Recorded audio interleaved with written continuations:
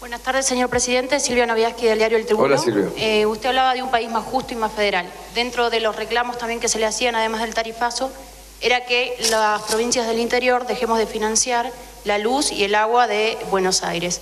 ¿Ustedes van a presentar algún proyecto alternativo y que también pueda ser más justo para las personas del interior que dejemos de pagar la luz y el agua del- de Buenos Aires? Absolutamente.